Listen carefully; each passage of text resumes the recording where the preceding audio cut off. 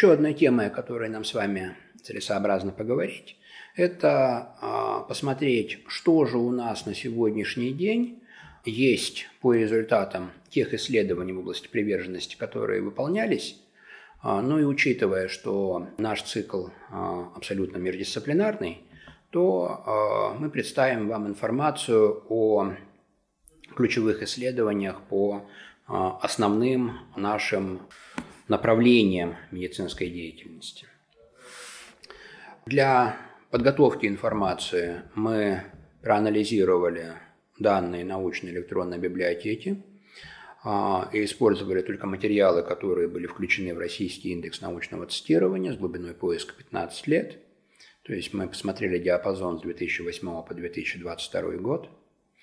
А, что мы отбирали для того, чтобы представить вам. Это результаты оригинальных рандомизированных циркулярных исследований, которые были опубликованы в рецензируемых научных изданиях в виде полнотекстовых оригинальных научных статей или аннотированных научных отчетов. То есть здесь э, нужно понимать, опять-таки, помните, в прошлой лекции мы говорили с вами про уровни убедительности доказательств и э, необходимых уровнях а, качества а, предоставляемых источников, вот здесь вот а, мы опять-таки старались вывести максимально высокую планку для того, чтобы опираться на те данные, которые проверяемы. Было проанализировано вот соответствующие таким критериям 396 источников, и только 47 из них мы включили в наш обзор. Приверженность по кушерству и гинекологии – крайне мало исследований нужного уровня доказательства. Фактически вот э, мы хотим рассказать вам только об одном. В 2020 году было выполнено исследование с участием 184 беременных женщин с артериальной гипертонией. А, оценку приверженности провели с использованием опросника Морис Тигрин. И среди женщин с хронической гипертонией высоко приверженными оказались лишь 9%. А в тех случаях, когда пациентки страдали гипертензией на фоне дистоза, приверженными оказались 71% женщин. Ну и э, полученные исследования, то есть, смотрите, огромный разброс уровня приверженности лекарственной терапии, другие варианты не рассматривались. Исследователи объяснили совершенно логично наиболее высокой мотивацией участниц второй группы, поскольку э, в условиях вынашиваемой желательной беременности дистоз – и а, гипертензия при нем всегда рассматривается как фактор риска, крайне а, тревожащий пациенток. То есть вот в данном случае уровень ситуационной значимости определил высокую ситуативную приверженность. Приверженность вакцинопрофилактике – очень важный момент, а, он понятным причинам важный, и в связи с пандемией COVID-19 он приобрел особую значимость. Ну, не нужно забывать, что у нас и другие инфекции, и грипп у нас никуда особо не ушел, и корь периодически нам передает приветы. Поэтому приверженности о вакцинопрофилактике э, посвящено несколько исследований. Э, в исследовании 2019 года изучалось мнение матерей, э, которые находились в детской больнице по уходу за детьми, студентов старших курсов Рязанского медицинского университета и врачей-педиатров. А, что оказалось? Оценивался вопрос вакцинации. Что оказалось? Среди матерей положительное отношение к вакцинации было у 60%, а это значит, что 40% можно отнести к отрицательно относящимся к этому. При этом высокая тревога в связи с возможными осложнениями была у 90%. Да, то есть, несмотря на то, что вот 60% декларировали то, что да, они готовы вакцинироваться, а подспудно мамочки оказались, ну, скажем так, в группе высокого риска. Среди студентов, чем выше был уровень образования, тем а, выше была а, готовность и приверженность лечению, но при этом была низкая практика ориентированности. Врачи-педиатры амбулаторного звена по данным исследования, с осторожностью относятся к вакцинации, особенно детей с хроническими заболеваниями. И в целом исследование продемонстрировало низкую приверженность а, общества к вакцинации. В еще одном исследовании 2019 года оценивали студенты гуманитарных технических медицинских вузов, их родители и врачи различных специальностей. Было три больших выборки, вы видите результаты. Была выявлена низкая приверженность вакцинации населения и медицинских работников, в том числе, да, и высокое доверие родителей антивакцинальным мифам. Среди студентов технического профиля положительно относились к вакцинации только 37%, гуманитарных 33%, но и студентов медицинских вузов врачей 76 и 80%. Обратите внимание, два этих исследования выполнено в доковидную эпоху. В исследовании 2020 года, когда оценивали приверженность врачей-педиатров, 175 человек, а, была показана недостаточная приверженность иммунопрофилактике, оказались незнакомые с рекомендациями по вакцинации беременных, например, против гриппа 13%, против коклюши 24%. В эффективности вакцинопрофилактики были утверждены 76% респондентов, безопасности 71. Коллеги, обратите внимание, это мы с вами, это практические врачи. Это люди, которые обладают а, должным набором знаний, и тем не менее четверть а, врачей негативно относится к вакцинации. 2021 а, год. Смотрите, уже разгар пандемии COVID-19. Оценивали приверженность вакцинопрофилактике среди различных групп населения. Тоже хорошие выборки. Под тысячу родителей, две с половиной тысячи работников медорганизаций. Да, вы видите, что в разные сроки были антитированы респонденты, что мы видим? Среди родителей почти 80% отнеслись к вакцинации положительно, 15% сомневались в эффективности и около 6% отрицали необходимость вакцинации. Но 13% медицинских работников, правда, в период до пандемии, негативно относились к вакцинации и при оценке приверженности сотрудников медицинских организаций вакцинопрофилактике новой коронавирусной инфекции, отношение к вакцинации, посмотрите, указали, было неоднозначным, но фактически это говорит о чем? О том, что мы и так с вами видим в клинической практике, недоверие к вакцинации в целом и недооценка рисков, связанных с ковид, к сожалению, а вот э, продемонстрированы и в этом исследовании в относительно возможной приверженности. А, в еще одно исследование 2021 года а, не такая большая выборка, но она интересна чем? Антитирование осуществляли через 5 э, месяцев после регистрации первой вакцины «Спутник Ви». О необходимости вакцинироваться при первой возможности заявили только 9% лиц, и, обратите внимание, 2% фармацевтических работников. Подождать предпочли 83% работников, 79% населения. Но естественно, что авторы исследования заявили о недостаточной приверженности иммунопрофилактике, да, как среди опрошенных фармработников, так и среди населения, и необходимости проведения э, просветительской работы. Вопросы просветительской работы были проанализированы в 2022 году в еще одном исследовании – и э, мы видим, что вот это к вопросу об управлении приверженностью да, э, и о краткосрочных ответах. И вот посмотрите, после проведения обучающих мероприятий, целевых обучающих мероприятий, правда, на управляемой выборке, на контингенте студентов, доля положительно относящихся к вакцинации выросла с 41 до 57%, но даже в этом случае 40%, то есть двое из каждых пяти, негативно отнеслись к вакцинации. При том, что это уже 22 год, мы уже увидели те масштабные последствия а, пандемии и в части а, погибших наших пациентов, и в части перенесших тяжелые осложнения и имеющих а, отдаленные последствия в части понимания постковидного синдрома. То есть вот эти три блока информации, те исследования, которые касаются вакцинации, о чем они нам с вами говорят? О том, что у нас, независимо ни от чего, доля пациентов недостаточно приверженных э, в этой категории по отношению к вакцинации составляет примерно две трети. То есть вот э, опять-таки э, то, что укладывается в средний и низкий уровни приверженности. В гастроэнтерологии тоже был выполнен ряд исследований. В 2016 году изучали а, оценку влияния отдельных факторов на приверженность терапии пациентов с различными заболеваниями пищеварительной системы. Использовали инструмент Морис Тигрина. И было выявлено, что более половины пациентов недостаточно привержены терапии. В 2017 году близкое было исследование, тоже использовался Морис Тигрин, опросник.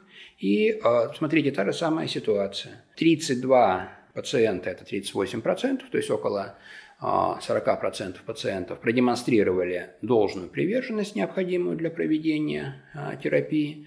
Две трети, 60% оказались к этому не готовы.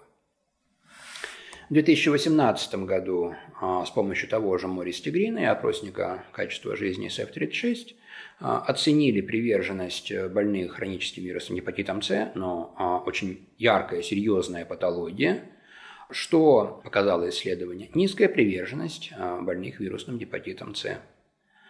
Вот а, это тоже очень важный момент, потому что а, про то, что С гепатит ласковый убийца, но наша реклама звучит достаточно хорошо и достаточно убедительно, и у нас население можно считать информированным об этом, и уж тем более пациенты, которые выявлены с установленным диагнозом вирусного гепатита С, они большинство активно пользуются интернетом, они читают все это, они все это понимают.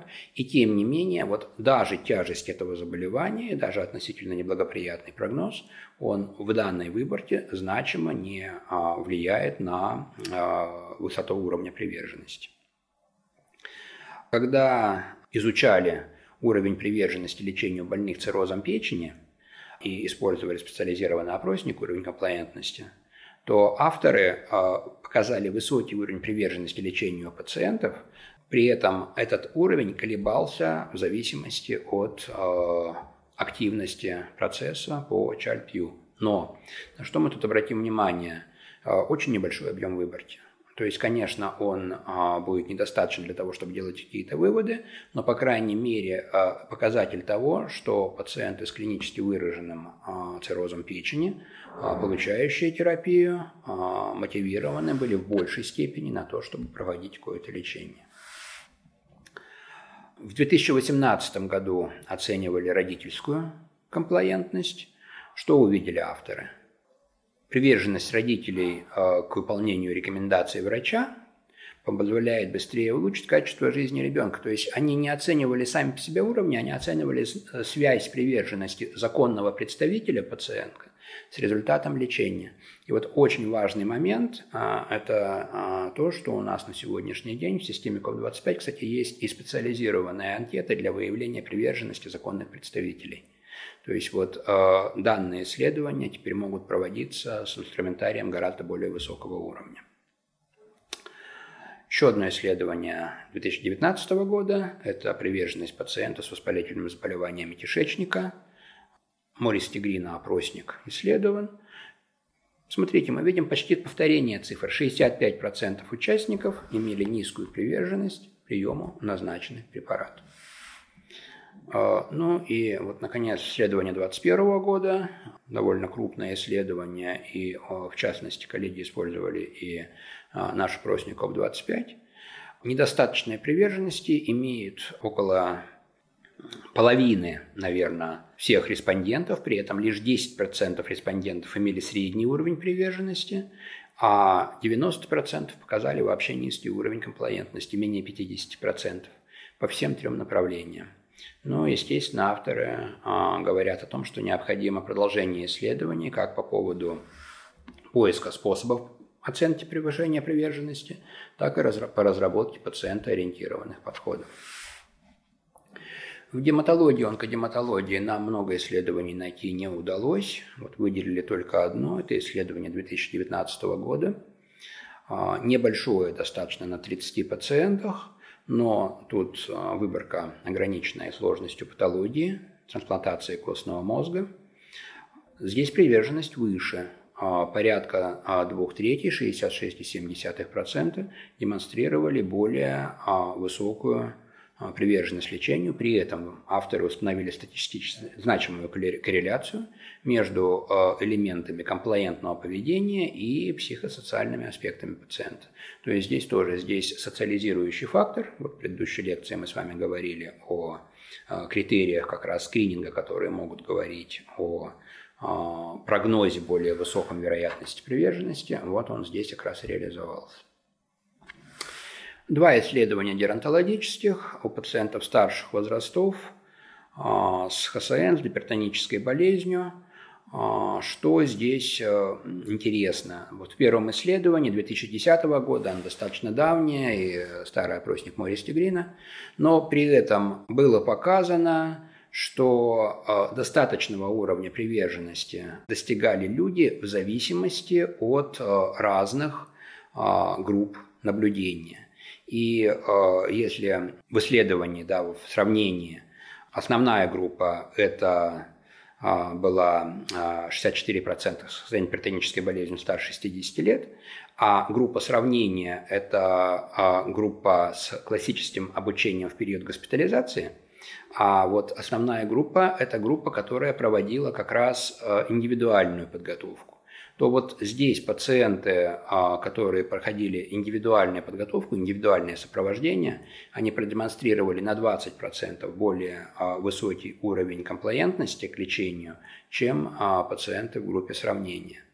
Вот. Но опять-таки здесь, к сожалению, этого исследования мы не увидели продолжения, потому что было бы очень интересно посмотреть более отдаленные результаты. Вот те исследования, которые нам даются, да, по материалам за рубежа, они показали как раз, что затем а, мы наблюдаем то, что и везде, то есть снижение, а, достаточно быстрое снижение уровня комплаентности, даже там, где она была вот таким вот образом повышена.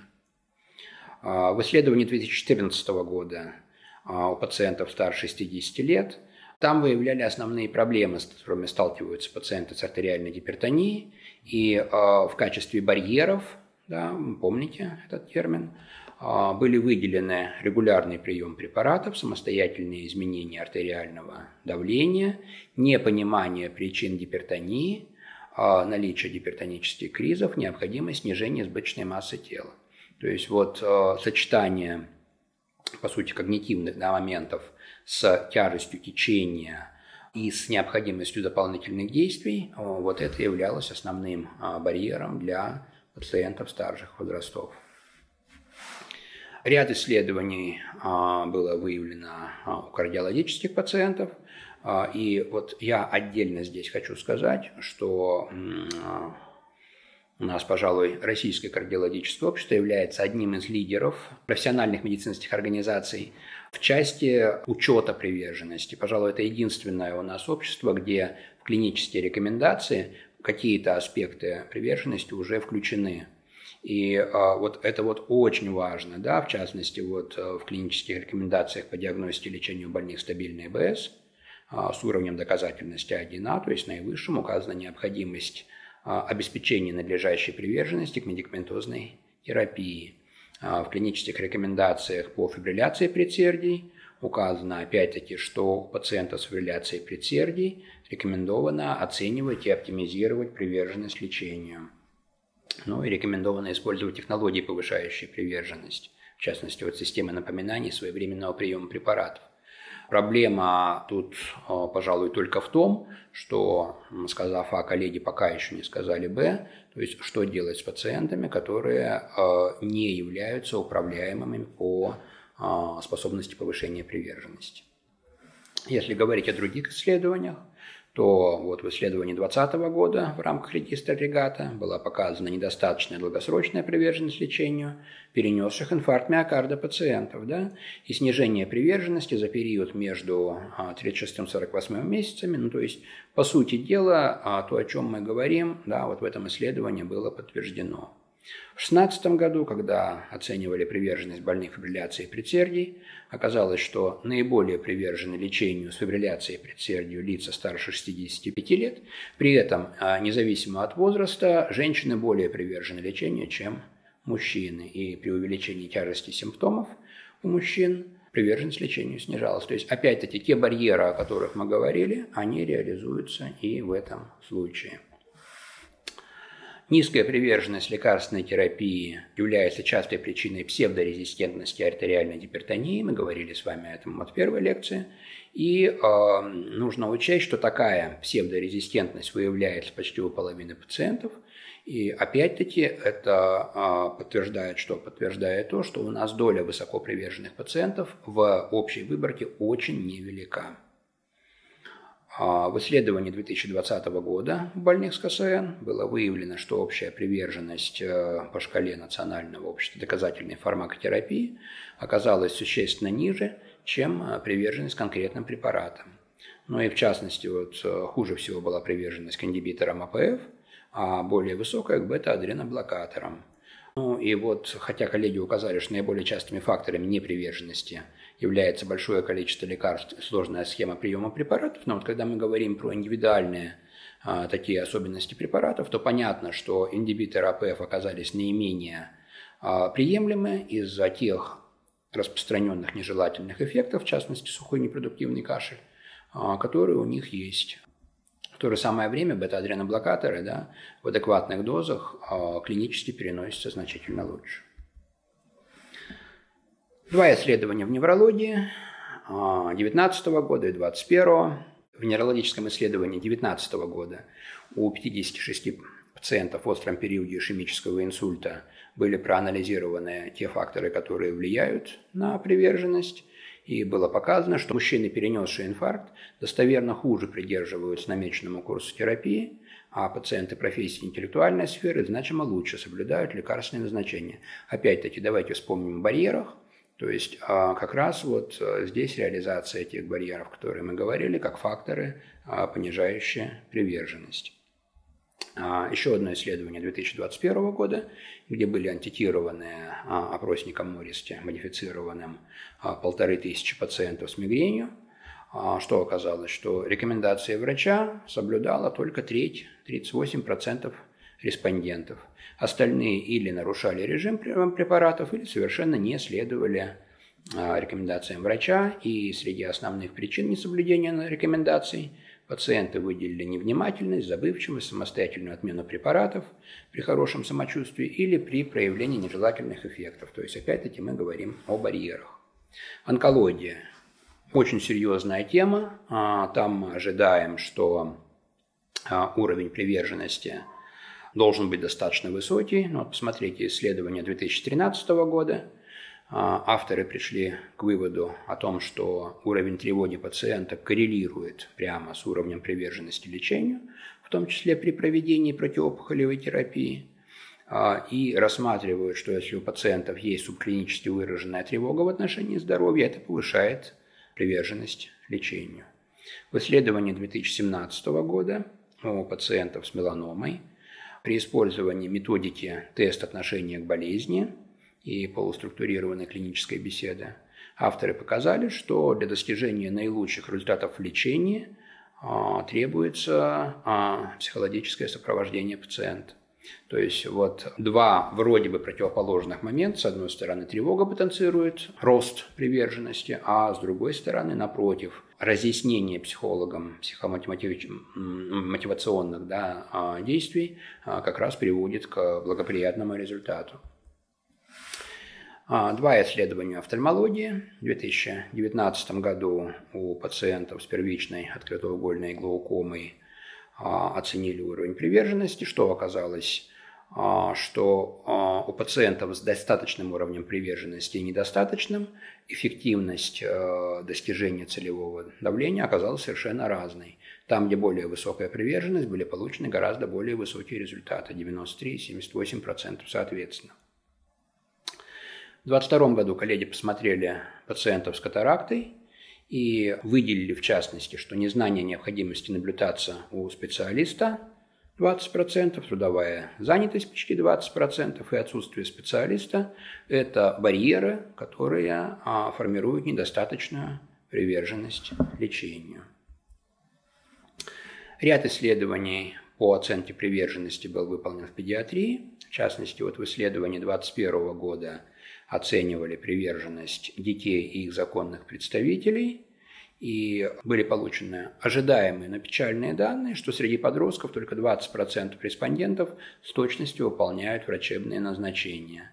А, при этом около 50% а, получали, считали, что они получают достаточную для лечения информацию, а более половины родителей оценивали ее как недостаточную, соответственно, и контроль над лечением в этом случае – был невысокий. Да, как следствие, печальное следствие, одним из результатов такого исследования стало то, что более 50%, как казалось, родителей детей не доверяют а, полностью или частично лечащему врачу.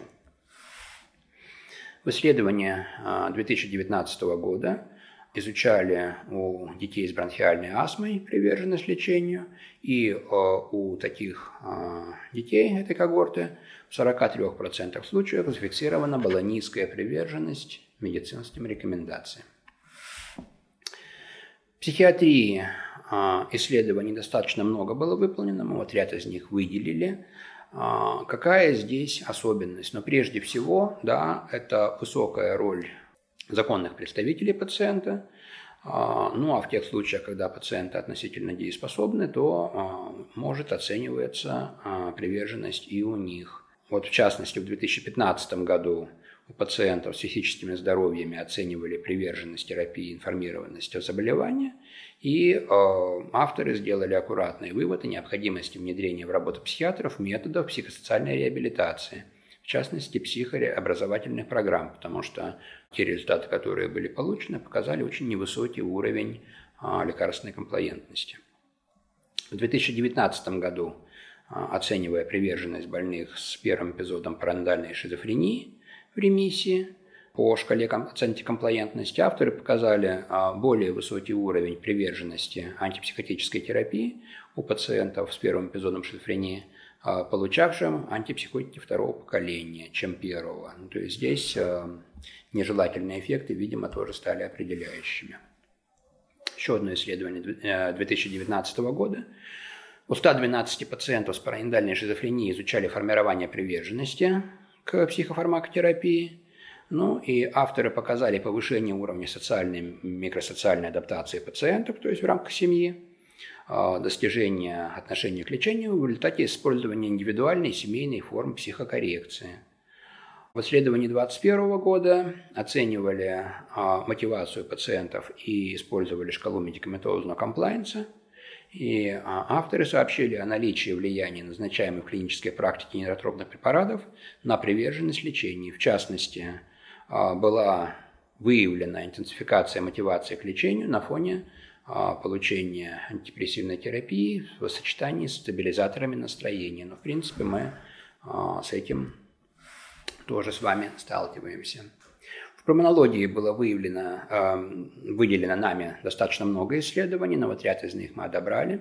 В частности, вот в 2017 году оценивали приверженность терапии больных Хоббл. На основании исследования авторы сказали низкая приверженность пациентов больным Хоббл. В 2018 году 102 пациента смотрели, а, тоже с участием а, Хоббл, в том числе с КСН. Оказалось, что лишь 46% были привержены лечению. В исследовании 2019 года, когда смотрели а, бронхиальную астму тяжелого течения, авторы отметили низкую приверженность выборке. В исследовании 2019 года, а, когда авторы смотрели преднамеренную, непреднамеренную неприверженность, а, была показана низкая приверженность лечению больных обл бронхиальной астмой.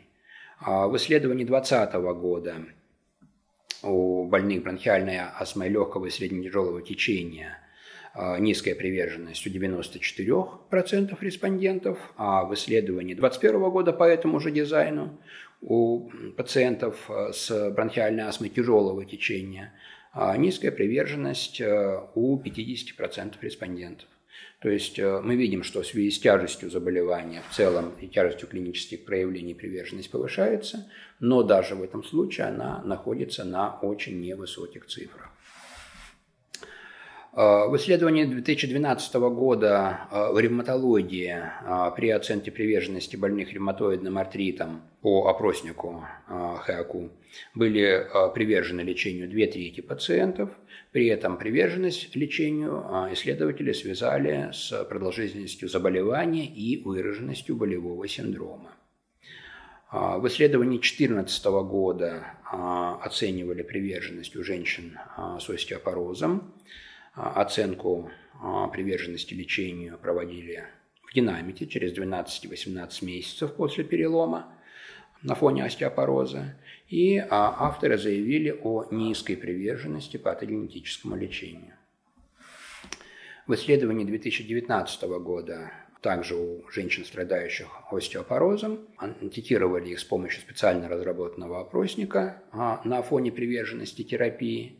И э, авторы выявили позитивное влияние на приверженность, а, если у пациентов определяется уровень витамина D3, расчетывается десятилетний абсолютный риск переломов, а, ежегодно мониторируется а, терапии с использованием цитометрии. То есть, по сути дела, была показана эффективность а, интенсификации сопровождения с участием медицинских работников.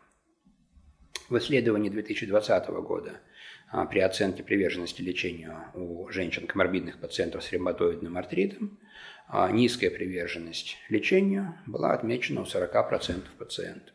При этом предикторами высокой приверженности а, были отнесены молодой возраст, меньшее продолжительное заболевание и, как ни странно, низкий уровень материального положения. В 2020 году при оценке приверженности лечению пациентов с подагрой для оценки приверженности использовали традиционный опросник Морис Тигрина. Высокая приверженность была выявлена у 49%, то есть почти у половины, а умеренная низкая у второй, соответственно, половины.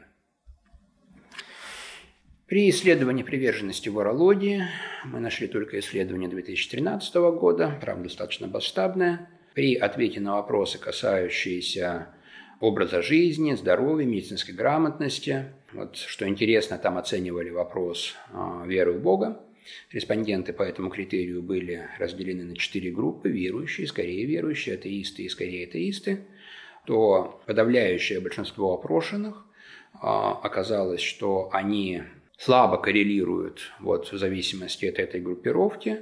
При этом подавляющее большинство опрошенных доверяют или скорее доверяют современной медицине, это порядка 80%. Более половины респондентов при этом полностью выполняют указания врача. То есть вот э, такой здесь был получен показатель. Среди основных причин прекращения лечения пациенты выделяли высокую стоимость лечения, сложность рекомендованной схемы, дефицит времени. Вот, коллеги, если теперь мы а, сведем комплексно то, о чем поговорили сейчас – то выводы у нас пока неутешительны. Вот, э, во-первых, в настоящее время только менее 15% проанализированных отечественных исследований э, выполнено с надлежащим качеством. Э, в большинстве таких исследований оценивалась исключительно лекарственная приверженность, при этом вопросы медицинского сопровождения модификации образа жизни остаются почти неизученными. А, в исследованиях удовлетворительного дизайна в качестве инструментов, как правило, использовались опросники лекарственной приверженности короткой шкалы. Это опросники с невысокой надежностью. И, в общем-то, это делает крайне необходимым выработку единых подходов, общих принципов и правил оценки приверженности. Но э, супер резюме из того, что мы с вами проговорили, смотрите, практически во всех нозологических группах, практически при всех заболеваниях, от э, банальной катаракты до онкологии, а, включая кардиоваскулярную патологию, да, и а, в различных возрастных группах, и у детей, у гератологических наших пациентов, доля низкоприверженных и неприверженных лечению пациентов крайне высока. И это опять-таки говорит о сложности и важности той проблемы, с которой нам с вами предстоит работать. А традиционная информация о контактах если у вас будут возникать вопросы, идеи, предложения, связывайтесь с нами.